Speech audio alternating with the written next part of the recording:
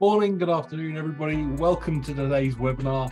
Really excited to be here with you today to talk about our latest update and how to use our new custom variables to make better games. So today we're going to go through an introduction to custom variables.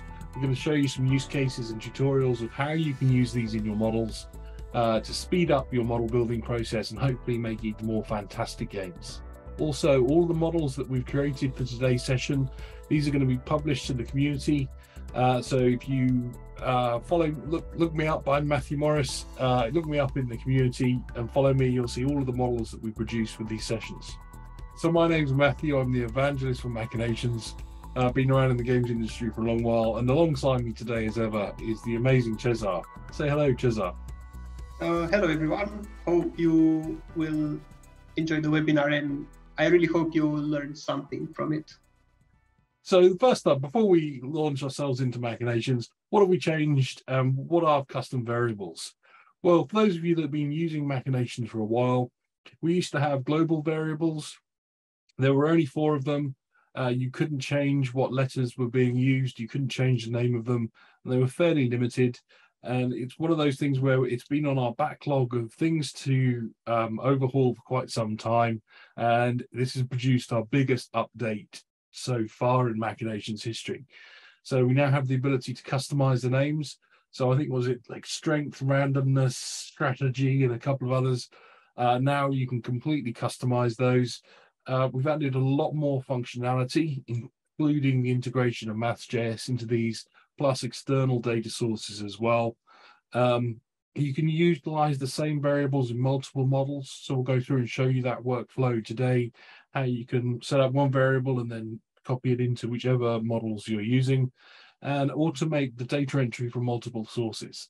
So really cutting down that workflow time if you're working with live data and live ops, cutting that down so that you can be much more productive in machinations, hopefully avoiding that nasty copy and paste process that uh, you often have to go through. First things first, we have to highlight this amazing feature for the webinar at least which is the ability of me having machinations on full screen and not having to hide my tabs and everything, which is the most amazing things. One of the most amazing things we've ever had. So I'm grateful for that.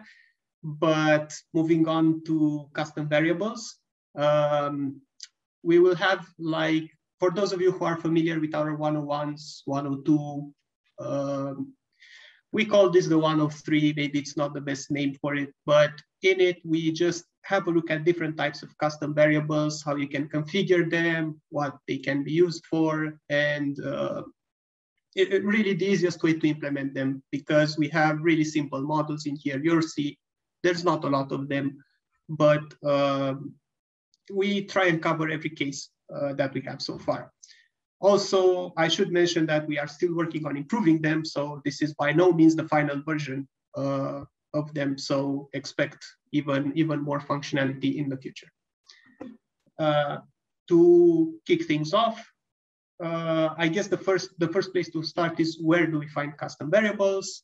You can see on the left side that we have our, uh, our bar here has been changed a bit. We have a bit uh, more, let's say, different things, starting off with libraries at the top, images, variables, layers, and history. We're going to be focusing on custom variables today. Maybe at the end, we'll have a look at images and layers for a bit, but the main focus will be custom variables. As I open custom variables, you can immediately notice uh, the tabs at the top here, which are diagram, private, and team. We're going to talk about the, the three of them a bit later. Uh, in the diagram section, you'll notice that we have a bunch of variables on the left here, each with their own names and values. Now, for the first couple of variables that we have here, I've purposely uh, left them, um, let's say, I, have disabled them, so I've, I've deleted them just so we can create them live and we can see how, how the process works.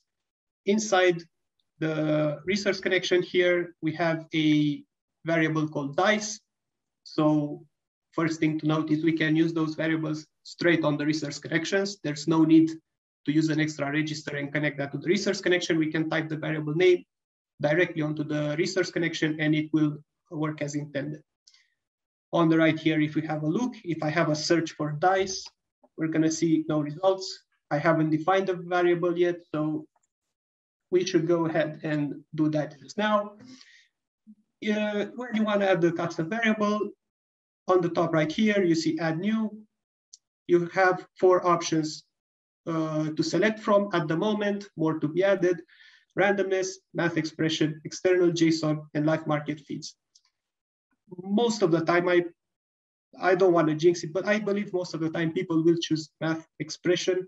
Um, we can also, but in our case for dice, we will be choosing the randomness variable. Now, as I selected randomness, you can see on my left side here, randomness interval, I have a bunch of parameters that I have to fit. First will be the name of the variable. In order to, to fit the model that I have here, I'm gonna name it as dice. Uh, the, then we have our type, which is interval, array, or external RNG. I'm gonna leave it as interval from now. We will name it, so we have from and to, which is basically lowest value to highest value. Um, I'm gonna put from one to 10. And we have distribution, uniform or Gaussian. I'm gonna leave it as uniform just to simulate a dice and update can be on play or each step. So if I were to select play, for instance, let me save it just as it is right now. This should give us a random number between one and 10. So think of it as a 10 sided dice. I'm gonna leave it to update on play, save it. We have it as dice. Now, if I hit step, we're gonna notice I just transferred seven resources, three, eight. So I am basically rolling a dice every time. And if I put it to each step, again, I am rolling a dice every time. So as I have it here with all on the on the drain, it's because I want to drain every resource at every step. Those connections are instant just so we don't see the resources moving around. If I were to set them to interval, we can actually see the tokens moving around. We set them as instant because it's easier to follow. So instead of uh, this is a, a, basic example because for, for, for 1 to 10, even before we had functionality, we could have written D10, obviously, but uh, it's just a simple way to, to show how the randomness variable is implemented. And for the second example in which we have to create a variable ourselves, we have, uh, as you can see on the right here, we have this very professional uh, categorization. Yeah, as a fixed number, which means that we have, uh, in, in, before the converter here, let's say we are collecting currency over time and we want to convert it into items, and it has a certain cost of converting a certain amount of currency into one item. For the purpose of this small example, let's just say that is that number is uh, 2000. You're gonna add a new variable in here, math expression, name it cost, so it, uh, it matches the, the name here, give it a description, cost of converting one item, let's say. And the formula, we can, so even though it says formula, we can just type a simple number in here, hit save, and it will work properly. So right now, what will happen is when I hit play, whenever I reach 2000 currency in here, because we will have the cost variable set as 2000, we will be able to convert into one item. Now, some of you might say, why is this useful when I can just type 2000 in here? And that's a valid question. But for that to be answered, I think we were gonna, I'm gonna have to hand over to Matthew to show you the Cats model and yeah, and exactly why that's such a big deal, especially for those of you, and there I hope there are some in here that have built massive models and have a lot of connections and nodes. You're gonna see why that's so important. That was the slickest segue ever, Cezar. Thank you very much. While I'm loading that up, there's a quick question from the audience. Does this mean that the old notion of using dice will not work anymore and it has to be done this way? No, of course not. Uh, you, the dice is the same as before, D and a number, uh, but you can also think of it as if you are throwing, I don't know, 10 different dices uh, in 10 different places, instead of going and typing D6 in every single place, you can just define your own dice variable and have it as dice. It gives you a bit, I would say a bit more control. And also, if you wanna throw, because I've seen people trying to, if you wanna throw, for instance, two dices, right? And you can do D6 plus D6, but you can also define your dice variable as a Gaussian between two and 12. And yeah. Perfect.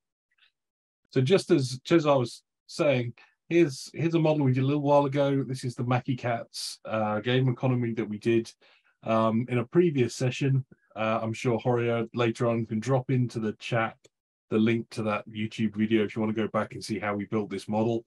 But one of the things that we did here in this model is we have a uh, player persona and we use this to pick a number between one and nine to select which persona we were going to be testing in this simulation. And this was a great way of doing it. We had one pool. Uh, we could update this um, to whichever persona type we wanted. And then these connections went all over the canvas uh, and it picked the the trait that that particular persona had for each of the different variables that we defined. And some of these links were quite complex. They kind of went all over the place. And this starts to get quite time consuming laying all these um, state connections all over the map and uh, making it quite confusing to try and keep up with it. This is where our new uh, custom variables really come into their own. What I've done this time is rather than uh, have it already in my diagram, I've set up a private custom variable. Now, here we've got these three options. We've got our, custom variables we have allocated on this diagram. We have private custom variables. So these are ones that you'll set up and just unique to your profile. And then we have our team custom variables. With our team custom variables, they're shared across your team. So anybody logging in on the same account can see these custom variables and can then add them to their model. When we add them to the model, we click the little three dots here we've got two options. Well, we've got three options. First one, delete it. We don't want to do that today. But then we have these two um, options which are used in this diagram or copy to this diagram. And there's a big difference between the two. So when we copy this to the diagram, uh, you'll see it's it's moved it from private into the diagram. Um, so I can then see the details that I have for it. Um, when I copy it, it's going to effectively create a brand new copy of that custom variable and then when we um, use it inside this model, it's just going to take that custom variable. It's still linked to the either the private or the team um, custom variables folder. Uh, so that means if someone were to change it, we could go back and change it. But here, just as we had before, I, rather than using a pool, I've now set up the word persona to be uh, how I'm selecting which persona I'm going to be simulating inside here. So rather than uh, using the letter A from that pool, I'm just going to drop the word persona in there. It means I can delete these ugly state connections, uh, try and work out where this other one loops around to. Here it is, hidden here somewhere. And that means I can get rid of that state connection and one more to go somewhere. There it is.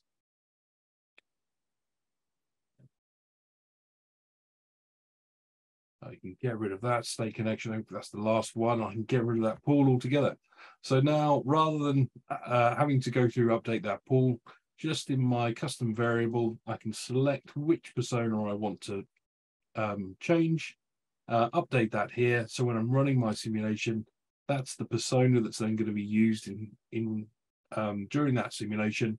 I can then obviously adjust that as often and as frequently as I want to the other example that we then have is just as Cezar was saying, in this model, we've got lots and lots of times where we've put in 1,200 as the base breeding cost uh, and how many tokens it's going to take to breed a couple of Mackie cats to produce a new uh, kind of infant Mackie cat. And to go through and uh, update all of these would be super time consuming. So what I'm going to do is I'm going to use this in the diagram rather than copying it. So I'm going to effectively leave it connected to my team folder. Now, in here where I have the uh, the 1,200, I'm going to replace this with breed cost. The beauty of this is that now it means that I can um, update all of the instances where I have that breed cost, and you can see there's lots and lots and lots of times where I'm using that in this model. It'd be a real pain for me to go through and update that across all of the simulations, all of the instances at the same time. But now, rather than doing that, I can update that live directly in here. Now, because I've linked this to the team um, custom variable, this means that Cezar can actually go in and make changes to that custom variable. So if Cezar is working on another model and decides, actually, we want to update that breed cost now. So rather than it costing 1200, uh, he's going to update it for me and make it cost a different amount. It's going to automatically update in this model. So there, Cezar has just updated that for me. So now rather than costing 1200, it's now costing 2000. And this is really, really powerful, especially when we start working with uh, JSON imports or um, market variables, where if we've got those linked in the team, our team members might go through and even change the sources of the JSON import or change something. Uh, as long as you're linked and you're connected to that original um, custom variable, as they make those changes, it's going to update in your model as well. Means it's so much easier and faster to be working with uh, data, especially across the team. And uh, once we get into those kind of JSON imports. Um, so the, the idea now of this kind of workflow is that as we're going through, I can now jump into my diagram tab, pick which persona I want to then go through and simulate. I'm going to pick number eight. Uh, we've set our breed cost, and now I'm going to hit my batch plays. I can run my simulations, see what impact these variables have on my economy, understand the impact that uh, kind of tweaking these can have, rather than me having to go through and update the breed cost all that many times, which would just be uh, a mind-numbingly boring task. I can now update that live, save that, and then rerun my simulations without having to waste all that time going through updating each of them. Really having a massive impact on the speed and complexity of uh, how you can start iterating quickly with your game economies. Oh, there's a great question that's come in here. Uh, Cezar, What's the difference between randomness update on play and each step? It seems to be the same.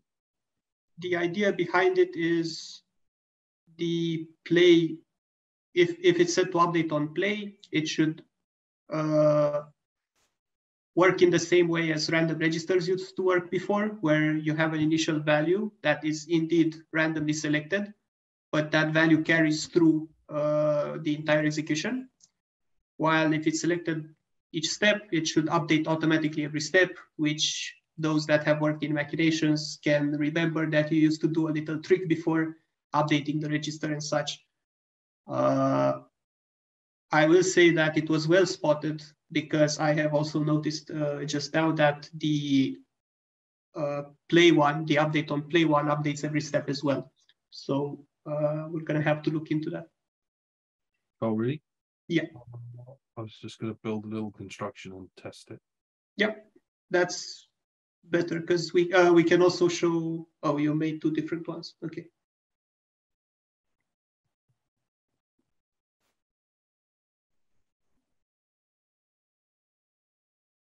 Yeah, almost there. There we go.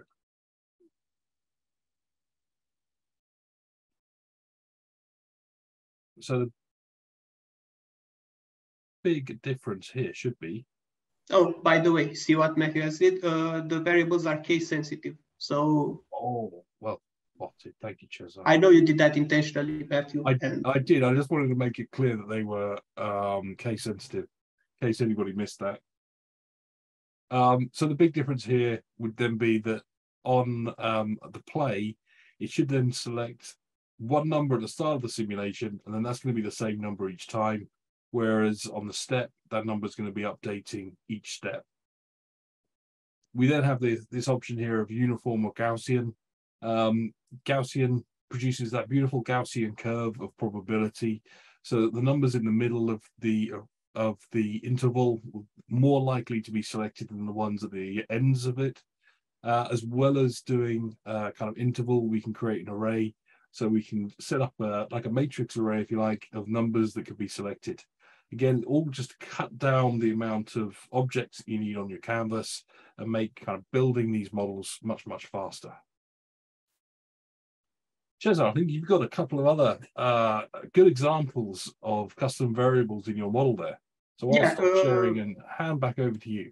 Sure. I was just reading the Q&A. I think those questions should be, we should leave them for after the main presentation because I believe we'll have a lot of time at the end to answer questions. Uh, they were pretty general, so. But if uh, anyone has any question related to what I'm presenting right now, Matthew, please interrupt me. I will. All right. So we have a couple of more to show. Uh, I'm just gonna go through them one by one. The first one would be a, an array. So those of you, again, that have previously suffered with arrays and you know that you write a giant array inside the register and then there's this 10 kilometers of text going around the diagram. Uh, as a math expression, by the way, I'm not gonna create the rest of them on the spot. They were previously created, but we can have a look at them um, we can see on the array here, we have it as a math expression. It's an array of values. Uh, I named it array because I don't have imagination. And in the formula field, you can see that I added a bunch of values, random values, no real meaning behind them. And uh, the update is irrelevant. I mean, you can choose whichever because it, it doesn't matter for the array here. And as the array, uh, you can see that uh, I have an index here, which I'm defining inside of the diagram, right? And what happens when I hit play, let's actually do step by step, is that for every resource that comes in here, the index increases, so I read the next number of the array. So you can see we are at the second position right now, which is uh, the value 20, then comes 25, 45, and so on. So we can easily build an array inside of the math expression here and just uh, use it in different places. Again, instead of having, imagine that you had the same array and you wanted to use it five different times and it was a giant array, it would be a lot of text clogging your diagram and it's easily available now. What we also want to show with the next one, so we are using the same array so since it has the same name, it's, it's the same one from here. And we are also using lookup as a variable. Uh, lookup, you can see it's just a simple number. You can see the description, it's the number to select, and it's the formula is a simple three. So basically array lookup will return the third value from the array, in our case, 25. That will happen constantly. Unless we change lookup, it's gonna be 25 constantly. An important thing to highlight here, which I also mentioned in the beginning, is the fact that you can type the variables directly onto the resource connection. So no need for that extra register that has to do, has to, you know, overwrite with an equal or add with a plus one. You can type straight onto the, the resource connection and it frees up a lot of space.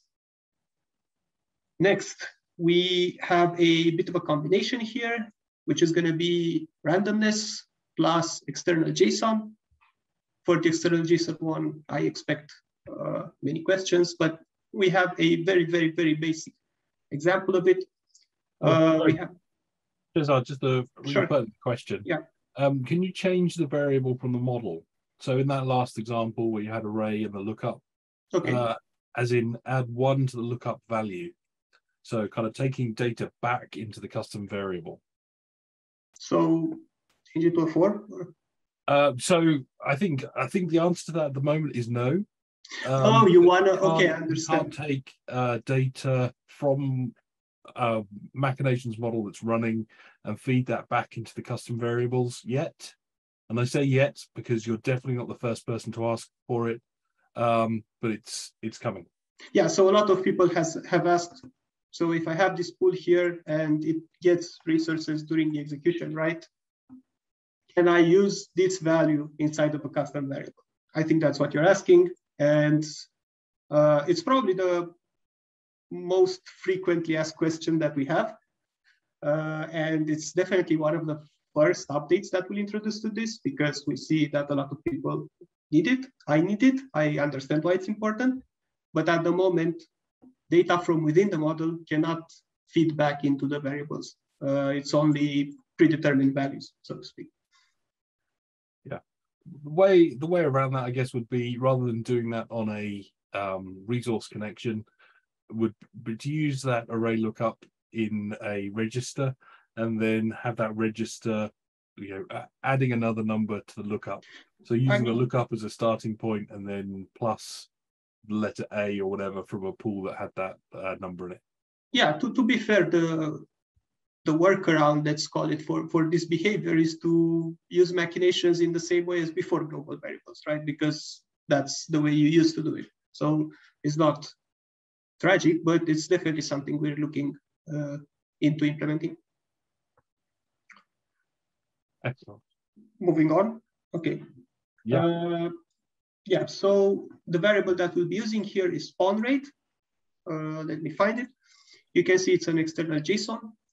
We have a URL here, which actually I can show. It's public. It's for a Pokemon that database. We have a list of different Pokemons in here, starting from uh, the classics. Um, you can see that they have a bunch of information in here.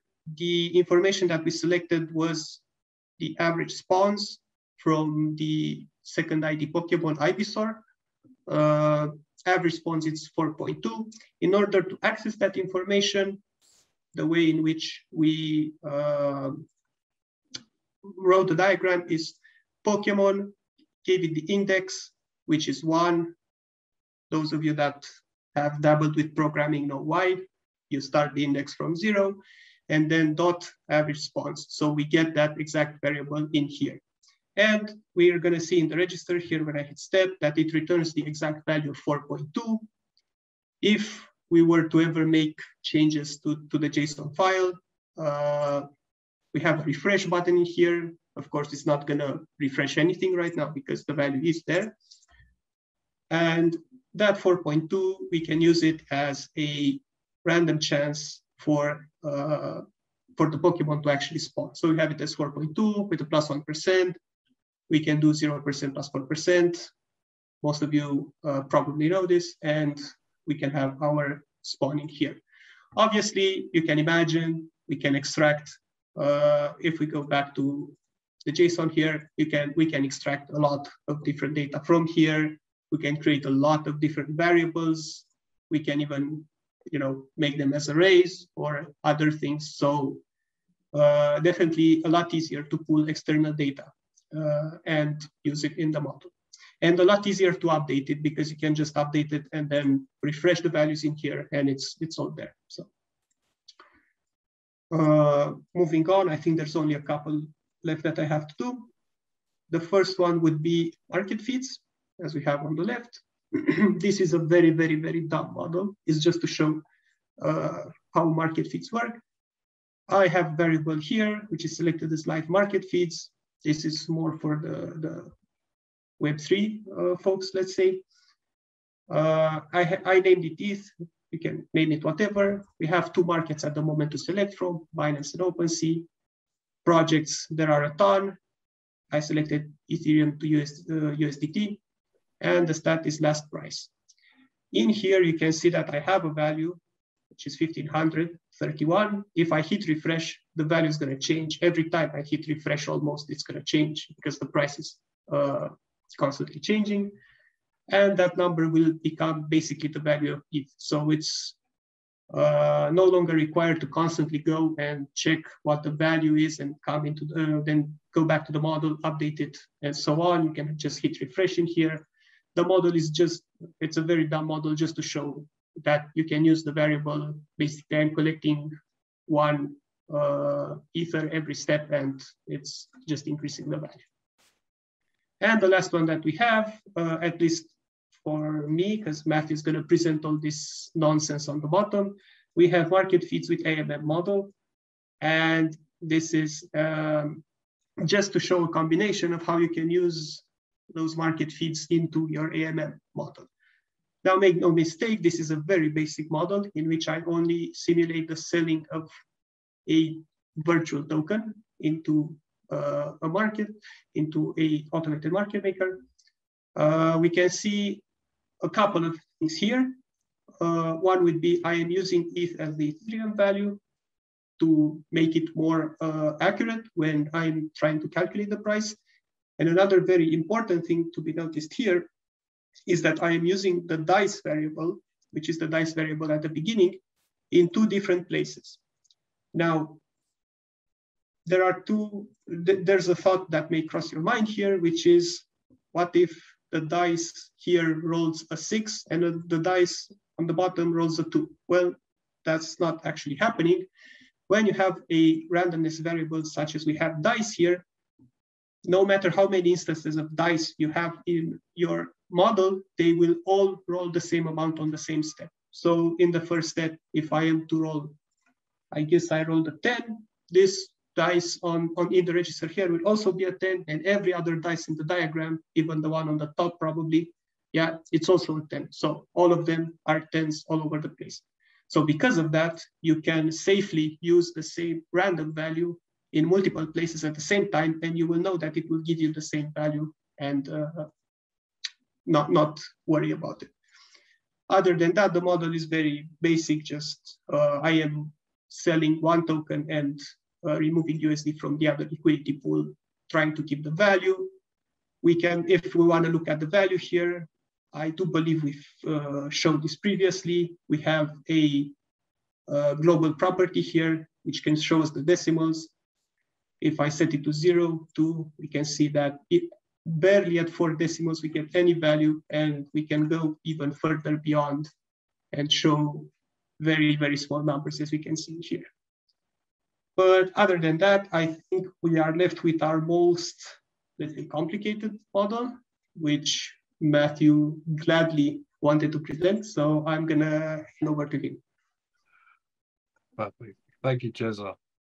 Uh, I don't know about the most complex, but I think quite a few people have been asking this question as we've been as we've been going through. So uh, I thought I'd save this until uh, we can show it to you in this model.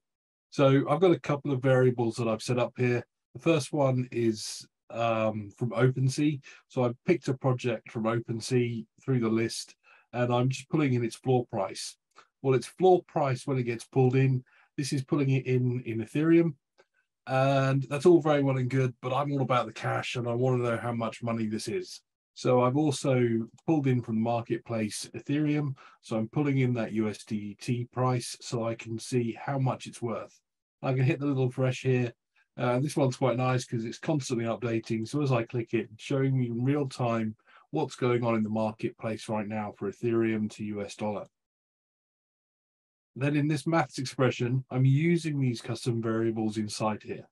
So I can use, uh, I'm very simply, I'm just taking how what's the floor price of mini combat right now in Ethereum, uh, multiplying that by the USDT Ethereum price, and combining those to create my floor price for the project. So without having to go through and look, look up into any of those markets to see what those variables are, I can do all of that inside a maths expression. So in answer to the question you had there of can you use custom variables inside a maths expression? Yes, you definitely can. And it creates a huge amount of options of how you combine these to be to do all sorts of very, very powerful um, insights into what's going on with the economy. Most importantly, it means that without having to go through and um, make any changes, I can update the update these in real time and use that in this silly little model I built. It's not that complex. Uh, what I'm doing is I'm taking that floor price that I've just calculated for the market. Uh, I wanted to show that you can still do maths.js in here. So I've multiplied it by 100. So I'm getting cents rather than dollars. So I can have those decimal points in my model. And then I've got a little bit of mechanism here just that's going to look at where my uh, floor price is going to go in the future. So I'm adjusting my floor price randomly here. It's either going to go up or down by a random D50 each time, 50-50 chance of it going up and down. I've also looked at how many uh, sales were going on. So I've looked at that same project and in the past 24 hours, how many sales have been made. Super important if you want to, if you're working on a Web3 project that's going to be trading in OpenSea or anywhere else, you're going to have those marketplace transaction fees. And it's you're probably going to be very keen to find out what's going to be happening with those and how much money you're going to be making. So uh, I've updated that number. Let's see what it is now. Oh, it's gone up slightly. Um, so that number's gone up. So I'm going to rerun my simulation. Uh, and now I can, I've updated this with live prices, live sales, and I can use this to calculate how much money I'm going to be making. So just in this little simulation, I'm then looking at the black line here is showing how much money we're going to be making.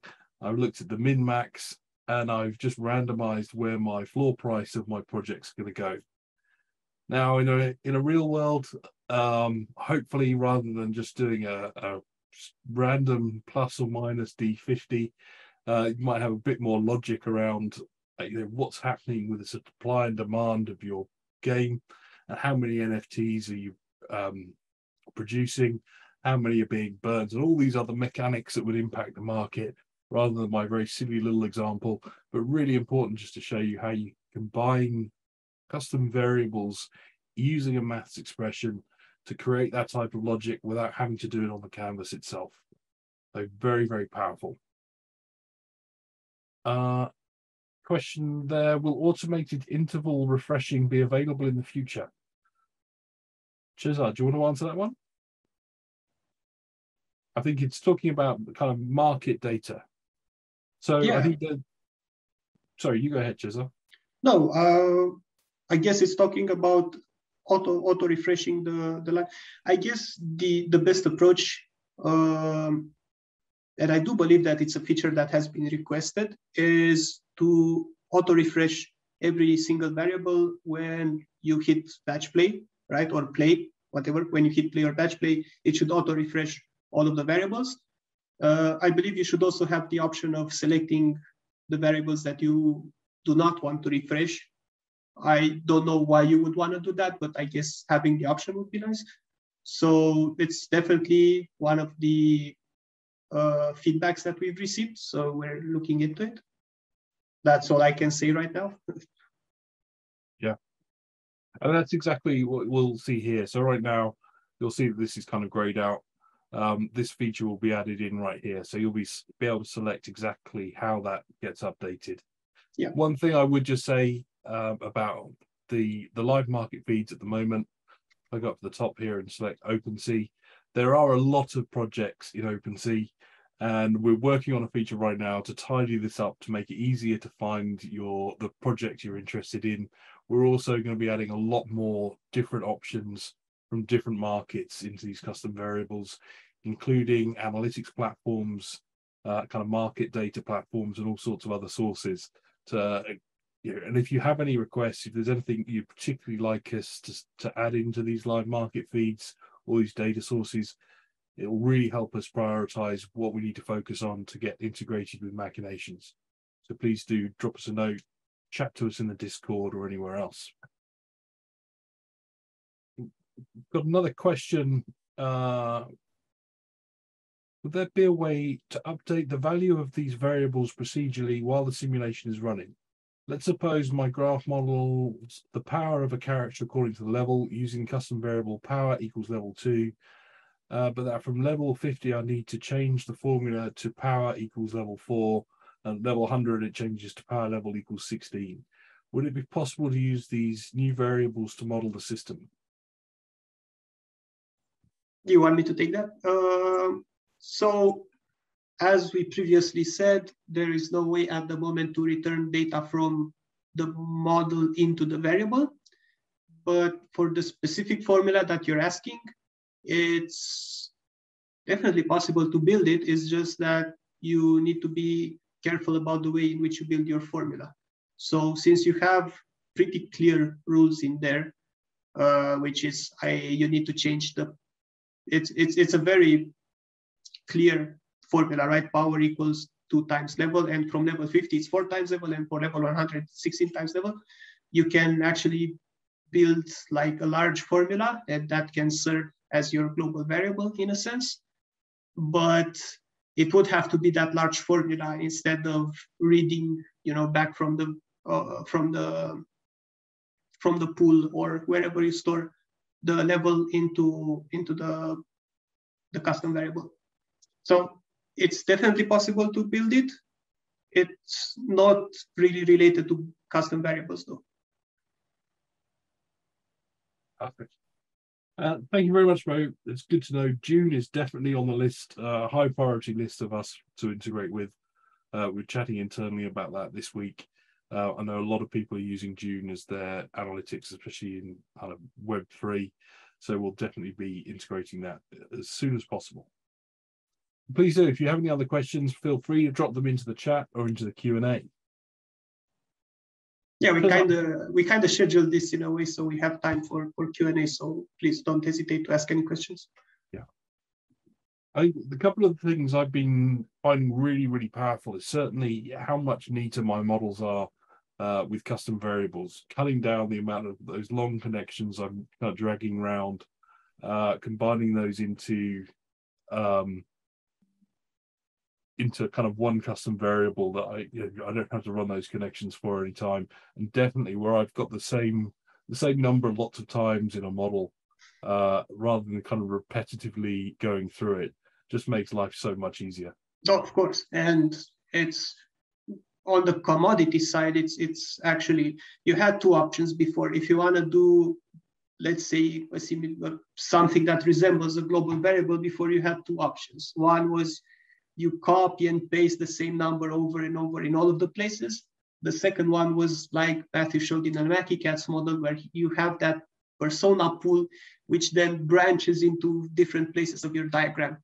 So both of them have a lot of disadvantages. Let's say the, the pool one has the disadvantage of being very messy. You cannot, if you have the MachiCatz model is not a very big model, let's call it that way. If you have you will have models that are 1000 2000 nodes. Maybe you need to use the persona in 10 different places. You're going to see connections flying around. You might even connect them wrong. I, I, think the thing that i like the most about it is that it leaves very little room for error right? If i had a number in 50 different places and i had to go and manually switch it you can be sure that i would forget to switch it in at least two or three places when i'm in a hurry right? So having that extra commodity of just going on the on the left side, changing a variable once, and it updates all of the values. So that's that's priceless to me at least. And if any of you have worked with large models, I bet you've all felt this sentiment of, my God, it's so messy and it's just there's so many connections that I need to drag around to make this work. And just being able to eliminate them is uh, it is very helpful both for reading the diagram and for the person that's actually modeling as well. So uh, a couple of great questions. Well, I think one's not necessarily a question; it's a request. Uh, when can we get a max, a variable uh, on a pool's max resource count? Uh, I know we're, we're, it's definitely on our roadmap. We'll get there um, soon.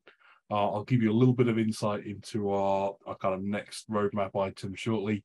Um, but another great question for larger diagrams: Are there types of global variables that are more or less demanding on performance? Performance? I will say so. First of all, I don't claim to know everything that happens with the orchestrator of machinations. I don't really know what happens in the background. I know two things that I will share with everyone. One is if you have a lot of computations, that will slow down your diagram. So be careful of how many computations you have per step. You can think of a computation as transferring a resource from one place to another, updating a register, uh, updating a resource connection, things like that, right? That's a computation. Imagine that you have 2000 nodes and you have a lot of formulas in there and you have a lot of resources moving around. Those create a lot of computation. Uh, the other one would be uh, moving resources through gates. So the way in which gates distribute resources I might be not 100% correct, but I do believe that's the case. And I have examples to back me up. The way in which gates process resources is on an individual level. So if you have gates that are handling a, num- a large number of resources, let's say you have 1 million resources that you want to pass through a random gate with three outputs, uh, that might be slow because each of that, each one of those 1 million resources will be calculated when they reach the gate to see which output they have to select. Of course, that's 1 million. Imagine doing 100 billion right? Imagine having seven of those. That's gonna slow your execution dramatically. So th those two are the ones that I believe slow down executions the most. I do believe they are both unrelated to custom variables. That was always the case. I do not think there are custom var I do not believe so, but I confess I'm not proficient enough yet and I haven't used them to that extent yet to be able to make such a claim, but I do believe that custom variables do not impact performance so far. So. I will just do a quick uh, update on that. Um, this is a very silly little model I just doodled while we've been talking. It used to be that um, deterministic gates would um, also kind of kill the performance. And you can see I've just created a very ridiculously uh, exponential loop. Uh, so every resource that comes through this gate, it's basically going to this pool that's feeding back of how many resources are being created. Uh, uh, kind of a couple of revisions ago, uh, we pushed out an update. So this used to completely kill machinations if you were to do something like this and you were to start putting billions or trillions of resources through the same gate. Uh, we've done a lot of work to kind of improve that. So you can see I was pushing uh, 30 decimal places worth of resources through this gate each step, and it was still very fast and performant. So we've done a, we're always constantly working in the background. We have these big flashy updates that we do, like custom variables. We're adding all this content and functionality, but in the background, our dev team are feverishly beavering away to make machinations more and more efficient. Uh, and uh, even great, uh, like little updates like this that you probably wouldn't have noticed unless you're kind of doing a lot of um, high numbered resources going through gates. You probably wouldn't have noticed it but our team are continuously working on these improvements and making a big difference. Uh, a couple of questions. Yeah, one one of them is especially for you, Matthew. Uh, will we get a recorded version of this webinar? Yes, yes, yes, as always. Uh, but the good news is today, I think I've only seen that question asked twice. So that's a good improvement. It's a good step forward for us. Yes, they're always recorded. They'll be on our on our YouTube channel uh, next week. Um, what about pulling data from external spreadsheets? Uh, really excitingly, we expect to have that um, in an update coming very, very soon. I've uh, been working with the team on exactly that workflow. We're looking at streamlining that. It effectively will utilize some of the development we've already done around um, the JSON imports um, to pull data directly from um, all sorts of different uh, Google Sheets, I think is the primary one, but we'll be able to pull data directly from Google Sheets directly into Machinations. But one, uh, actually, I might just share this top tip just because I discovered it a little while ago and it kind of blew my mind. Um, this is a, a Google Sheet that I'm working on for a demo that we've got coming up shortly. And here I've got, I was building arrays uh, so I've got these arrays with these giant numbers. I think I've got 100 different numbers in here. There's this great function called text join inside a spreadsheet. Um, by putting text join, the little um, comma in, in between some quotation marks, that's what that's the delimiter that sets what's in between each of the numbers. Uh, then you can either set false or true, should, should you ignore empty cells, and then the array. And what this does is it creates a, a giant set of um, numbers that you can then really easily just drop into a um, into a uh, register and create that array. So a really fast kind of workflow to move data from, uh, you know, wouldn't want to have to type out 100 numbers or play around with this data at all. You can literally just jump dump it all into one cell copy and paste that directly into an array, add the square brackets, and you're good to go. Uh, but we're working on um, streamlining that even further so it'll be automated. Great question just in the chat there from Laura. Will the Google Sheets need to be publicly accessible to be accessible from machinations like JSONs currently require? So uh, I don't want to preempt that too much. It's definitely something we're working on. Um, I think the what we're hoping that the we can get to would be this if you you'll have to be logged into machinations with Google uh, and you'll have to then be logged into the Google Sheets which you have access to with that same Google account. And so effectively it will be secured. It won't have to be made public.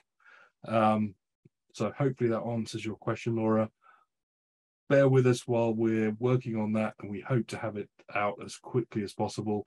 But uh, security is definitely at the top of our minds. Understand that JSONs, um, in order for that to function, it's got to be public right now, which isn't ideal if you've got sensitive data. So we're definitely going to um, be adding more um, more functionality around that, but security always top of mind for us. I think. Uh, do you have an onboarding system past the basic automated tutorials on the website? What do you recommend these days, Cezar? Once you've been through the automated tutorials? Uh, well, uh, whenever I get asked on intercom, I guess the easiest answer is watch the 101. That's definitely the best place to start. Uh, I would recommend the 101 video, the 102 video, and now, or rather soon, the 103 video as well. So yeah, the, the 101 is definitely the best place. We go through each and every node, each and every connection. We explain what they do, where they should be used, how to use them. It's just a comprehensive guide of, of everything that Machinations has to offer. So I, I would say that's definitely the best place to start. And also, as always, practice is the best teacher. Also, uh, I don't know if we're ready to introduce him yet, we've had a brand new member of the team join Machinations uh, who's focusing on enablement. So he's the new head of enablement for Machinations. We're going to introduce him on one of these webinars coming up very soon. Uh, and he's going to be taking, uh, he's been working very, very hard on improving the entire kind of um, onboarding process and education process to help all of our community uh, make better models inside Machinations and make better games. Um, any other questions? Oh, thank you very much for those um, links, Gennady. Definitely going to check those out and looking forward to seeing what they do. Um, I, that's exactly the sort of workflows we've been looking at, kind of converting Google Sheet, Sheets into JSON. Um, and I know that our R&D team have already, actually, I think they've already um, been able to do it and get that data directly from Google Sheets. Um, we're just working on integrating that and making it as seamless and as smooth as possible. But uh, thanks, I'm definitely going to check out those links. Thank you very much. Perfect. I mean, we're good on time if there aren't any other questions. Yeah, I think we're very good. So I did tease that we are going to talk about what's on in the roadmap next. So the big focus for us at the moment, as well as kind of adding all the functionality I've been talking about today, the big focus for us is is going back, looking at the chart again. And um, one of the things you'll notice, especially when it comes to running large numbers of simulations, is that Chrome starts to creak under the pressure of if you've got a thousand steps and you run uh, and you've got a hundred variables uh, that you're tracking in the chart and you try and load all of that into Chrome at the same time, Chrome can start to creak a little bit, uh, you know, and take up even more RAM. So what we're doing is we're working on a big improvement for the charts where all of the simulations are done in the cloud, just as they are right now with our batch plays. But rather than sending every single point of data back to you, it's going to send back aggregated data only. So your averages and your indicators will come down to your local PC and you'll be able to manipulate those in the chart, but you won't have to start to feel that lag when you've got several several hundred thousand data points trying to be stored in Chrome at the same time. It's a really big focus for us so that you can speed up um, that testing time, speed up those iterations, and uh, improve the performance of Machinations overall. Uh, Machinations on other browsers soon. Uh, where are we with Safari now, Cezar? Are we, are we there yet? I know it's been worked on as as long as uh, one of my troubleshooting messages on intercom is are you on google chrome you know i think i think we're not there yet uh, i really don't know where, where we are with that right now uh, i don't know what the how, how the focus is there i really hope we can integrate it with more browsers because a lot of the times people use machinations and get confused uh, over things that should be working and the only reason that they don't work is just because you are not using Chrome. And yeah, it's a bit limiting. And on behalf of everybody, uh, don't worry, the request for dark mode is is constantly discussed internally. We're always thinking about, you know, when can we add dark mode? It sounds like such a simple thing to add dark mode. Uh, if only it were. Uh, it is complex to add dark mode to machinations it requires whole new UI updates and changes so that things work in dark mode rather than light mode and you know still look good and still function. Um, but we've heard that and uh, we'll get there. At the moment, a lot of people kind of um, spoof dark mode by changing the background color um, into a slightly darker color. So it's yeah, I was right. going to suggest that scuffed alternative. You can switch the background color to something more dark, and it's it's, yeah, it's just like dark mode, basically. Rather than it being bright white, you can change that to a nice dark color. If you go black, you do start to lose all of the resource connections. Um, but there's definitely definitely options there. You might want to have a garish red color, but I, I don't know who's uh, crazy enough to want that color as their background. Perfect. This has been lots of fun. Thank you all very much for joining us it was a great session today. Really pleased. We're so excited about how these new custom variables are going to impact people's game development. Um, and then uh, kind of love your feedback. So, uh, you know, any su suggestions you have, any thoughts you have on, you know, what would make your lives easier in machinations, what would improve it, please do come and join us in the Discord channel. I saw Horia already kind of drop that link in there. Um, so please do come and join us. Oh, quick question, just as I'm wrapping up. Uh, what about some kind of automated player, some random or slightly scripted AI to fake input for some players in diagrams? Do you have some plans for this in your roadmap? Uh, that's an interesting one. Um, so at the moment, um, the, the master of building these AI type players.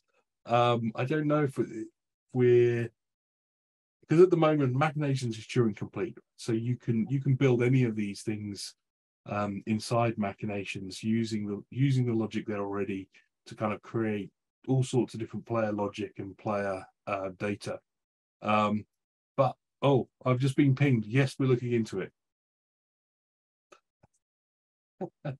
Live and direct from the hotline uh, in the back channels so yes apparently we're looking at it i'll leave it at that because I don't know anymore.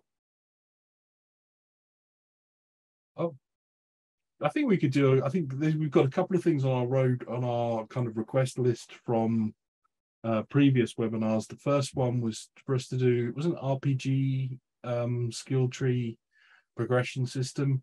Uh, another request. Let's do a masterclass on AI kind of uh, AI kind players from Cezar. What do you think, Cezar? You're up for doing a, a webinar on building player logic and AI?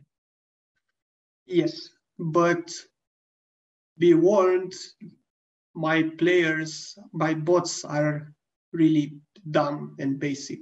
Uh, so yes, uh, as Matthew said, you can build them as complex as you want. You will sometimes notice that it's not worth placing an extra 3000 nodes on the canvas just to simulate a bit of a smarter player and rather just leave them dumb and performing basic actions according to very basic rules, basically. And we've been doing a lot of kind of uh, we did a very secretive project recently I can't talk about, but um, looking at the difference between kind of real world playtesting and simulated playtesting through machinations. And kind of where it gets really interesting is how you can combine the results of both because you know, machinations is great for testing and iterating on your economy. You're still going to have people play test the game to find bugs and do things with it. So how how do you think about that workflow between simulated playtests and economy testing in machinations and combining that with the power of kind of real world playtests and real players playing your game for the first time. Um, I think it's a fascinating subject, and I think it would make a great uh, session one day. Maybe we'll do that with the AI um, type session at some point. It's true. AI players is a guarantee to save us from Terminator like future. And I think on that beautiful sum up uh, and vision for the future, I'll wrap it up for today. So thank you very, very much, everybody, for joining us. It was a great session. We always enjoy these, and it's great to get your feedback and your involvement in these sessions.